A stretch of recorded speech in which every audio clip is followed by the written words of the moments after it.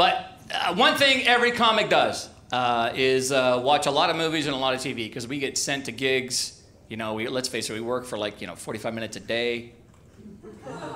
right? You know, you get flown up somewhere, you gotta you find ways to kill off the day, and you do the show. There's nothing to do afterwards sometimes. So every, every one of us watches a lot of TV, a lot of movies, and uh, my favorites are the uh, you know 70s crime movies. Oh, love those. Huh?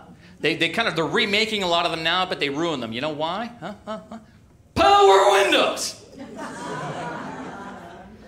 Because right now, you know, they remake a movie like that. You got the pimp guy pulls up to somebody at street level, lays down the shit. You know, so, you tell Rico I'm looking for him. When I find him, I'm gonna mess him up good.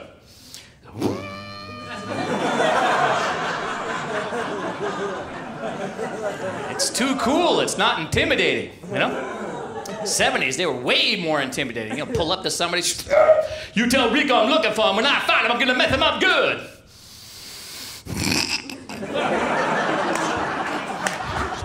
What'd you say? Just a little.